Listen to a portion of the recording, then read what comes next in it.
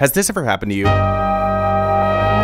You've just gotten your brand new expensive smart TV, you turn it on, fire up your favorite TV show or movie, and it looks like a soap opera. Stefan is being set up for kidnapping Kate and Ted.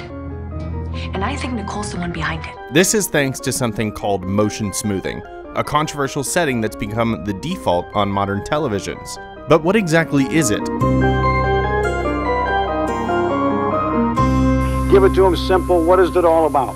Better picture quality, in many cases a wider screen, you see more of the pictures. Motion smoothing, also known as image interpolation, was developed back in the 90s, but has really only been mainstream on American televisions for the last decade. It was first developed to deal with a problem.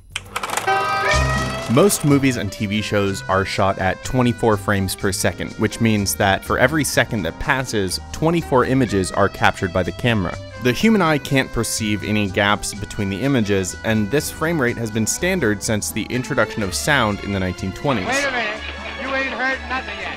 TVs, on the other hand, have a much higher refresh rate. That is, how many times per second the TV reconstructs the image on the screen.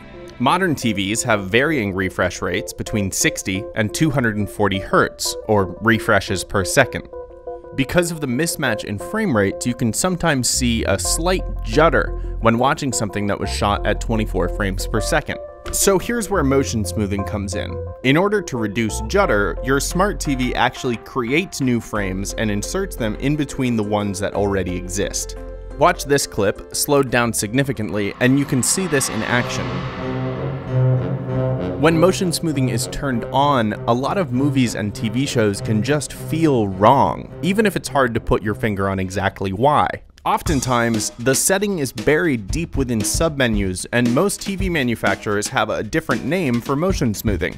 For example, this Samsung TV calls it Auto Motion Plus. So if your new TV makes Jaws look like General Hospital, don't return it just yet. Do a little digging and see if you can turn this controversial setting off.